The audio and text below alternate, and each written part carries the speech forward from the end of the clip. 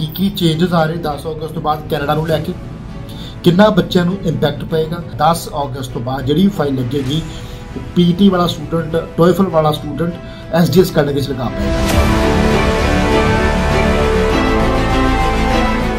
ਸਤਿ ਸ਼੍ਰੀ ਅਕਾਲ ਜੀ ਸਾਰਿਆਂ ਨੂੰ। ਮੈਂ ਤੁਹਾਡਾ ਆਪਣਾ ਸੁਖਸ਼ੈਨ ਰਾਹੀ ਆਰਐਸ ਗਲੋਬਲ ਇਮੀਗ੍ਰੇਸ਼ਨ ਦੇ ਇਸ YouTube ਚੈਨਲ ਦੇ ਮਾਧਿਅਮ ਰਾਹੀਂ ਅੱਜ ਕੈਨੇਡਾ ਆਫਿਸ 'ਚ ਬੈਠ ਕੇ ਤੁਹਾਡੇ ਨਾਲ ਵੀਡੀਓ ਬਣਾ ਰਹੇ ਗੱਲਾਂ ਦੋ ਤਿੰਨ ਕਰਨੀਆਂ ਬੜੀਆਂ ਇੰਪੋਰਟੈਂਟ ਵੀਡੀਓ ਜ਼ਿਆਦਾ ਲੰਬੀ ਨਹੀਂ ਕਰਨੀ ਕਿਉਂਕਿ ਗੱਲਾਂ ਕੰਮ ਦੀਆਂ ਕਰਨੀਆਂ ਅੱਜ ਉਹ ਸਟੂਡੈਂਟ ਦੇ ਲਈ ਜਿਹੜੇ 10 ਅਗਸਤ ਦੇ ਬਦਲਾਵ ਦੀ ਵੇਟ ਕਰ ਰਹੇ ਕੀ ਕੀ ਚੇਂਜਸ ਆ ਰਹੇ 10 ਅਗਸਤ ਤੋਂ ਬਾਅਦ ਕੈਨੇਡਾ ਨੂੰ ਲੈ ਕੇ?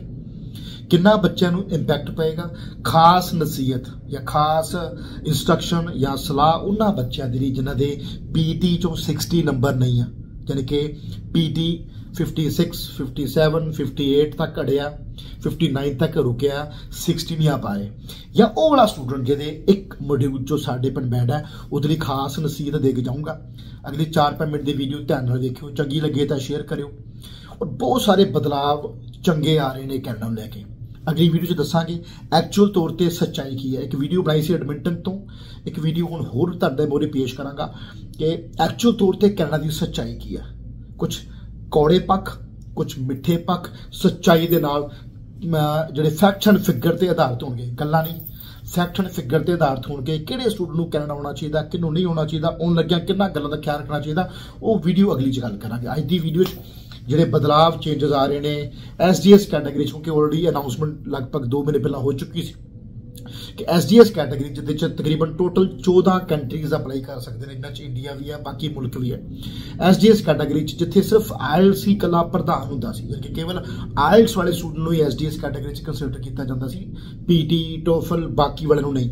ਸੋ ਉਹਦੇ ਚ ਹੁਣ ਪੀਟੀ ਵੀ ਆਏਗਾ, ਟੋਫਲ ਵੀ ਆਏਗਾ, ਹੋਰ ਵੀ ਦੋ ਤਿੰਨ ਟੈਸਟ ਨਾਲ ਐਡ ਕਰ ਦਿੱਤੇ ਗਏ ਨੇ ਬਟ ਜੇ ਪੰਜਾਬ ਦੀ ਮਾਰਕੀਟ ਦੀ ਗੱਲ ਕਰਾਂ ਇੰਡੀਆ ਮਾਰਕੀਟ ਦੀ ਗੱਲ ਕਰਾਂ, ਤਾਂ ਮੇਜਰ ਵੱਡਾ ਪਾਰਟ ਹੈ ਲੌਬੀ ਹੈ ਜਿਹਨਾਂ ਸਟੂਡੈਂਟ ਨੇ ਪੀਟੀ ਕੀਤੀ ਹੁੰਦੀ ਹੈ।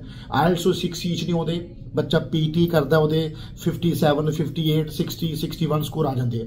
ਸੋ ਪੀਟੀ ਨੂੰ ਹੁਣ ਐਸਡੀਐਸ ਕੈਟਾਗਰੀ ਚ ਲੈਂਦਾ ਜਾ ਰਿਹਾ 10 ਅਗਸਤ ਤੋਂ ਬਾਅਦ ਜਿਹੜੀ ਫਾਈਲ ਲੱਗੇਗੀ ਪੀਟੀ ਵਾਲਾ ਸਟੂਡੈਂਟ ਟੋਇਫਲ ਵਾਲਾ ਸਟੂਡੈਂਟ ਐਸਡੀਐਸ ਕੈਟਾਗਰੀ ਚ ਲਗਾ ਪਾਏਗਾ। ਪੀਟੀ ਦੀ ਰਿਕੁਆਇਰਮੈਂਟ ਓਵਰਆਲ 60 ਦੱਸੀ ਗਈ ਹੈ। ਹਾਲੇ ਇਸ ਦੀ ਕੋਈ ਡੈਫੀਨੇਸ਼ਨ ਨਹੀਂ ਦਿੱਤੀ ਗਈ। ਚੈੱਕ ਲਿਸਟ ਜਾਰੀ ਨਹੀਂ ਹੋਈ ਸਰਕਾਰ ਵੱਲੋਂ ਕੈਨੇਡਾ ਐਮਬੈਸੀ ਵੱਲੋਂ। ਇਸੇ ਤਰ੍ਹਾਂ ਜਿਹੜਾ ਕੈਨੇਡਾ ਦੇ ਵਿੱਚ ਇਹ ਵੀ ਕਿਹਾ ਜਾ ਰਿਹਾ ਕਿ ਓਵਰਆਲ 6 ਬੈਂਡ ਇੱਕ ਮੋਡਿਊਲ ਸਾਡੇ ਪਿੰਡ ਬੈਂਡ ਵੀ ਕਿਉਂਕਿ ਆਲਰੇਡੀ ਆਇਲਸ ਵਾਲਿਆਂ ਨੇ ਵੀਡੀਓ ਬਣਾ ਕੇ ਪਾਈ ਬਟ ਹਾਲੇ ਕਿਤੇ ਵੀ ਅਧਿਕਾਰਤ ਤੌਰ ਤੇ ਜਾਂ ਆਥੋਰਾਈਜ਼ਡ ਹਾਲੇ ਕੋਈ ਨਿਊਜ਼ ਆਰਸੀਐਸ ਦੇ ਪੋਰਟਲ ਤੇ ਨਹੀਂ ਪਈ। ਕਿ ਇੱਕ ਮੋਡਿਊਲ ਸਾਡੇ ਪਰ ਬੈਂਡ ਅਸੈਪਟ ਹੋਏਗਾ ਜਾਂ ਨਹੀਂ ਹੋਏਗਾ।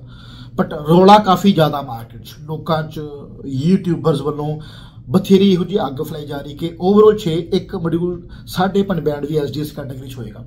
ਖੈਰ, ਇਹ ਹੋਣਾ ਸਮਾਂ ਦੱਸੇਗਾ ਬਟ ਫਿਲਹਾਲ ਉਹ ਬੱਚੇ ਜਿਨ੍ਹਾਂ ਦੇ ਓਵਰਆਲ 6 ਬੈਂਡ ਇੱਕ ਮੋਡਿਊਲ ਸਾਡੇ ਪਨ ਬੈਂਡ ਹੈ, ਜਾਂ ਜਿਨ੍ਹਾਂ ਦੇ ਓਵਰਆਲ ਪੀਟੀ ਚੋਂ 60 ਸਕੋਰ ਨਹੀਂ ਹੈ, ਉਹਨਾਂ ਨੂੰ ਵੇਟ ਕਰਨ ਦੀ ਹੁਣ ਬਿਲਕੁਲ ਵੀ ਲੋੜ ਨਹੀਂ ਕੀ 10 ਅਗਸਤ ਦੀ ਕੋਈ ਵੇਟ ਨਾ ਕਰਨ ਆਪਦੀ ਫਾਈਲ ਪਹਿਲਾਂ ਲਾਂਚ ਕਰ ਦੇਣ ਕਿਉਂਕਿ 10 ਅਗਸਤ ਤੋਂ ਬਾਅਦ ਤੁਸੀਂ ਆਪੇ ਸੋਚੋ ਜੇ ਇੱਕ ਮੋਡਿਊਲ ਸਾਡੇ ਪਨ ਬੈਂਡ ਜਾਂ PT 60 ਜਾਂ TOEFL ਇਹ ਸਾਰੇ ਐਸਡੀਐਸ ਕੈਟਾਗਰੀ ਜਦੋਂ ਆ ਜਾਣਗੇ ਤੇ ਫਿਰ ਨੌਨ ਐਸਡੀਐਸ ਕੈਟਾਗਰੀ 'ਚ ਬਚੇਗਾ ਕੀ देयर आर स्ट्रॉन्ग पॉसिबिलिटीज ਇੱਕ ਮੋਡਿਊਲ ਸਾਡੇ ਪੰਜ ਬੈਂਡ ਵਾਲਾ ਬੱਚਾ ਐਸਡੀਐਸ ਕੈਟਾਗਰੀ ਚ ਆ ਜਾਏਗਾ ਜਿਹੜਾ ਬੱਚਾ ਫਿਰ ਯੂਕੇ ਜਾਂਦਾ ਸੀ ਜਾਂ ਆਸਟ੍ਰੇਲੀਆ ਨੂੰ ਪ੍ਰੈਫਰ ਕਰਦਾ ਸੀ ਕੈਨੇਡਾ ਨੂੰ ਛੱਡ ਕੇ, ਕਿਉਂਕਿ ਕੈਨੇਡਾ 6 ਸੀਜ ਮੰਗਦਾ ਸੀ ਐਸਡੀਐਸ ਕੈਟਾਗਰੀ ਚ। ਜੇ ਇੱਕ ਮੋਡਿਊਲ ਸਾਡੇ ਪੰਜ ਬੈਂਡ ਐਸਡੀਐਸ ਕੈਟਾਗਰੀ ਚ ਆ ਜਾਏਗਾ, ਤੇ ਫਿਰ ਉਹ ਸਾਰਾ ਜਿਹੜਾ ਰਸ਼ ਹੈ ਕੈਨੇਡਾ ਵਾਲੇ ਪਾਸੇ ਡਿਵਰਟ ਹੋ ਜਾਏਗਾ। ਤਕਰੀਬਨ 8 ਤੋਂ 10 ਲੱਖ ਸਾਲ ਦੀ ਫਾਈਨ ਲੱਗਦੀ ਹੈ, ਜਿਹਦੇ ਚੋਂ 2.5 ਤੋਂ 3 ਲੱਖ ਸਾਲ ਦਾ ਵੀਜ਼ਾ ਲੱਗਦਾ। ਓਵਰਆਲ ਵੀਜ਼ਾ ਕੋਟਾ ਨਹੀਂ ਵਧਾਇਆ ਕੈਨੇਡਾ ਸਰਕਾਰ ਨੇ। ਜੇ ਵੀਜ਼ਾ ਸਾਲ ਦਾ 2.5 ਤੋਂ 3 ਲੱਖ ਲੱਗਦਾ, ਉਹ 3 ਲੱਖ ਦੀ ਬਜਾਏ 6 ਲੱਖ ਨਹੀਂ ਕੀਤਾ ਪਰਮਿਟ ਉਨੇ ਹੀ ਜਾਰੀ ਹੋਣੇ ਨੇ। ਸਟੱਡੀ ਵੀਜ਼ਾ ਉਨੇ ਹੀ ਜਾਰੀ ਹੋਣੇ ਨੇ ਬਟ ਰਸ਼ ਵਧੇਗਾ ਐਪਲੀਕੈਂਟਸ ਵਧਣਗੇ। ਅੱਜ ਜਿੱਥੇ 15 ਦਿਨ ਚ ਈਵਨ ਕਿ 8-9 ਦਿਨ ਚ ਵੀ ਸਾਨੂੰ ਵੀਜ਼ਾ ਰਿਸੀਵ ਹੋਏ ਨੇ 8-8 9 ਦਿਨ ਚ ਵੀ ਪਾਸਪੋਰਟ ਰਿਕੁਐਸਟ ਆਈਆਂ ਨੇ। ਸੋ ਪ੍ਰੋਸੈਸਿੰਗ ਟਾਈਮ ਘਟਿਆ ਸੀ 10 ਅਗਸਤ ਤੋਂ ਬਾਅਦ ਉਹ ਪ੍ਰੋਸੈਸਿੰਗ ਟਾਈਮ ਮਹੀਨਾ ਤੋਂ 2 ਮਹੀਨਾ ਆਰਾਮ ਨਾਲ ਹੋਏਗਾ ਹੋਏਗਾ। ਕਿਉਂਕਿ ਵੀਜ਼ਾ ਆਫਿਸਰ ਸਟਾਫ ਉਹ ਤਾਂ ਉਨਾ ਹੀ ਹੈ। ਐਮਬੈਸੀ ਥੋੜੀ ਸਟਾਫ ਵਧਾ ਰਹੀ ਹੈ।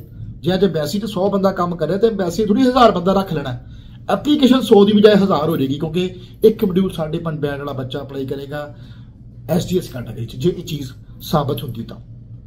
ਸੋ ਜਿਨ੍ਹਾਂ ਬੱਚਿਆਂ ਦੇ ਇੱਕ ਮੋਡਿਊਲ ਸਾਡੇ ਪੰਜ ਬੈਂਡ ਆ 10 ਅਗਸਤ ਤੋਂ ਪਹਿਲਾਂ ਪਹਿਲਾਂ ਅਪਲਾਈ ਕਰ ਲਓ, ਬਾਅਦ ਚ ਵੀਜ਼ਾ ਜੇ ਅਗਰ ਨ- ਮਤਲਬ ਐਸਡੀਐਸ ਕੈਟਾਗਰੀ ਚ ਆ ਜਾਂਦਾ, ਫਿਰ ਤਾਂ ਵੈਰੀ ਗੁੱਡ ਅਗਰ ਐਸਡੀਐਸ ਕੈਟਾਗਰੀ ਚ ਨਹੀਂ ਹੁੰਦਾ, ਇੱਕ ਮੋਡਿਊਲ ਸਾਡੇ ਪੰਜ ਬੈਂਡ, ਬਾਅਦ ਚ ਅਪਲਾਈ ਕਰਨ ਦਾ ਕੋਈ ਫਾਇਦਾ ਨਹੀਂ। ਦੂਜੀ ਖਾਸ ਨਸੀਹਤ ਉਹਨਾਂ ਬੱਚਿਆਂ ਨੂੰ, ਜਿਨ੍ਹਾਂ ਦੇ ਪੀਟੀ ਚੋਂ 55 56 57 58 ਜਾਣੀ ਕਿ 55 ਤੋਂ ਲੈ ਕੇ 59 ਸਕੋਰ ਹੈ 55 ਤੋਂ ਲੈ ਕੇ ਓਵਰਆਲ 59 ਸਕੋਰ ਤੱਕ ਹੈਗੇ ਨੇ। ਦੋ ਤਿੰਨ ਵਾਰ ਪੀਟੀ ਦਾ ਐਗਜ਼ਾਮ ਦੇ ਚੁੱਕੇ ਹੋ, ਨਹੀਂ ਇੰਪਰੂਵ ਹੋ ਰਿਹਾ। 10 ਅਗਸਤ ਤੋਂ ਪਹਿਲਾਂ ਪਹਿਲਾਂ ਫਾਈਲ ਪਾ ਦਿਓ, ਵੀਜ਼ਾ ਆ ਜਾਏਗਾ, ਬੜੇ ਚੰਗੇ ਚਾਂਸਸ ਹੈ ਸਾਡੀਆਂ ਕੱਲ ਚਾਰ ਪਾਸਪੋਰਟ ਰਿਕੁਐਸਟ ਹੈਗੀਆਂ, ਜਿਨ੍ਹਾਂ ਚੋਂ ਦੋ ਬੱਚਿਆਂ ਦੇ ਪੀਟੀ ਸਕੋਰ 56 55 ਸੀਗੇ। ਸੋ 59 ਤੋਂ ਤੁਹਾਡਾ ਘੱਟ ਸਕੋਰ ਹੈ ਆਪਦੀ ਫਾਈਲ ਅੱਜ ਹੀ ਲਾਂਚ ਕਰ ਦਿਓ।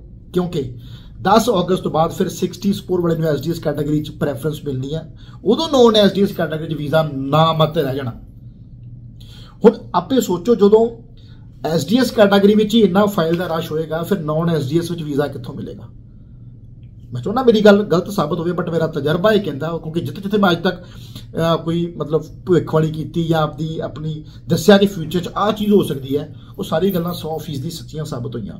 10 ਅਗਸਤ ਤੋਂ ਬਾਅਦ ਨੌਨ ਐਸਡੀਐਸ ਕੈਟਾਗਰੀ 'ਚ ਵੀਜ਼ਾ ਸਕਸੈਸ ਰੇਟ 5% ਤੋਂ ਜ਼ਿਆਦਾ ਨਹੀਂ ਰਹਿਣਾ। ਕਿੰਨੇ ਪਰਸੈਂਟ 5% ਤੋਂ ਜ਼ਿਆਦਾ ਨਹੀਂ ਰਹਿਣਾ। ਸੋ 10 ਅਗਸਤ ਤੋਂ ਬਾਅਦ ਨਾਨ ਐਸਡੀਐਸ ਕੈਟਾਗਰੀ ਚ ਫਾਈਲ ਹੋਣ ਦਾ ਕੋਈ ਫਾਇਦਾ ਨਹੀਂ। ਅੱਜ ਪੀਟੀ ਤੋਂ ਸਕੋਰ 60 ਤੋਂ ਘੱਟ ਹੈ। ਓਵਰਆਲ 6 ਇੱਕ ਮੋਡਿਊਲ 5.5 ਬੈਂਡ ਹੈ। ਚੁੱਪ ਕਰਕੇ ਫਾਈਲ ਦਰਜ ਕਰ ਲਓ, ਚੰਗੇ ਰਹੋਗੇ, ਬਾਅਦ ਚ ਕਿਤੇ ਨਾ ਕਿਤੇ ਪਛਤਾਉਣਾ ਪੈ ਸਕਦਾ। ਉਮੀਦ ਤਾਂ ਗੱਲ ਸਮਝ ਲੱਗੀ ਹੋਵੇਗੀ ਜੋ ਮੈਂ ਸਮਝਾਉਣਾ ਚਾਹ ਰਿਹਾ, ਨਵੀਂ ਵੀਡੀਓ ਲੈ ਕੇ ਫਿਰ ਤੁਹਾਡੇ ਰੂਬਰੂ ਹਾਜ਼ਰ ਹੋਊਂਗਾ ਕੈਨੇਡਾ ਦੇ ਐਕਚੁਅਲ ਸੱਚ ਦੱਸਣ ਦੀ ਕੋਸ਼ਿਸ਼ ਕਰਾਂਗੇ, ਜਿਹੜੇ ਬੱਚੇ ਸਿਰਫ ਟੋਰਾਂਟੋ ਬ੍ਰੈਂਪਟਨ ਵੈਨਕੂਵਰ ਸਰੀ ਨੂੰ ਮਤਲਬ ਬੱਚਾ ਜਦੋਂ ਕੈਨੇਡਾ ਤੋਂ ਆਉਂਦਾ ਨਾ, ਉਹਨੂੰ ਲੱਗਦਾ ਕਿ ਕੈਨੇਡਾ ਮਤਲਬ ਟੋਰਾਂਟੋ ਕੈਨੇਡਾ ਮਤਲਬ ਵੈਨਕੂਵਰ, ਕੈਨੇਡਾ ਮਤਲਬ ਸਰੀ। ਉਹਨੂੰ ਬਾਕੀ ਸੂਬੇ, ਬਾਕੀ ਸ਼ਹਿਰ ਦੇਖਦੇ ਨਹੀਂ। ਹਾਲਾਂਕਿ ਬਹੁਤ ਅਪਾਰ ਓਪਰਚੁਨਿਟੀਜ਼ ਅਵੇਲੇਬਲ ਆ ਨੋਵਾ ਸਕੋਸ਼ੀਆ ਦੇ ਵਿੱਚ, ਹੈਲੀਫੈਕਸ ਦੇ ਵਿੱਚ। ਅਪਾਰ ਓਪਰਚੁਨਿਟੀਜ਼ ਅਵੇਲੇਬਲ ਆ ਵਿਨੀਪੈਗ ਦੇ ਵਿੱਚ, ਐਡਮਿੰਟਨ ਦੇ ਵਿੱਚ ਕੈਲਗਰੀ ਦੇ ਵਿੱਚ। ਸੋ ਉਹਨਾਂ ਸਾਰੀ ਗੱਲਾਂ ਬਾਰੇ ਬਾਰੇ ਵੀਡੀਓ ਬਣਾਉਣ ਦੀ ਕੋਸ਼ਿਸ਼ ਕਰਾਂਗਾ ਉਹਦੇ ਦਿਨਾਂ 'ਚ। ਲਗਾਤਾਰ ਮਤਲਬ ਪਾਰਟ 1 ਪਾਰਟ 2 ਪਾਰਟ 3 ਸਾਰੇ ਪਾਰਟ ਬਣਾ ਕੇ ਤੁਹਾਡੇ ਤੱਕ ਇਹੋ ਜੀ ਇੱਕ ਯੂਨੀਕ ਇਨਫੋਰਮੇਸ਼ਨ ਦੇਣ ਦੀ ਕੋਸ਼ਿਸ਼ ਕਰਾਂਗਾ ਤਾਂ ਕਿ ਜਦੋਂ ਵੀ ਕਿਸੇ ਐਪਲੀਕੈਂਟ ਨੇ ਕੈਨੇਡਾ ਆਉਣਾ, ਚਾਹੇ ਉਹ ਟੂਰਿਸਟ ਵੀਜ਼ਾ ਤੇ ਆਉਣਾ, ਚਾਹੇ ਸਟੱਡੀ ਵੀਜ਼ਾ ਤੇ ਆਉਣਾ, ਚਾਹੇ ਵਰਕ ਪਰਮਿਟ ਤੇ ਆਉਣਾ, ਚਾਹੇ ਪਰਿਵਾਰ ਨਾਲ ਪੀਆਰ ਲੈ ਕੇ ਆਉਣਾ, ਉਹ ਵੀਡੀਓ ਦੇਖ ਕੇ ਬੱਚਾ ਉਹ ਐਪਲੀਕੈਂਟ ਇੱਕ ਚੰਗਾ ਫੈਸਲਾ ਲੈਣ ਦੇ ਕਾਬਿਲ ਜ਼ਰੂਰ ਹੋ ਜਾਏਗਾ। ਨਵੀਂ ਵੀਡੀਓ ਲੈ ਕੇ ਫਿਰ ਤੁਹਾਡੇ ਰੂਬਰੂ ਹਾਜ਼ਰ ਹੋਣਾ, ਤਦ ਤੱਕ ਜਿਉਂਦੇ ਵਾਸਤੇ ਰੱਬ ਰੱਖਾ, ਸਤਿ ਸ਼੍ਰੀ ਅਕਾਲ।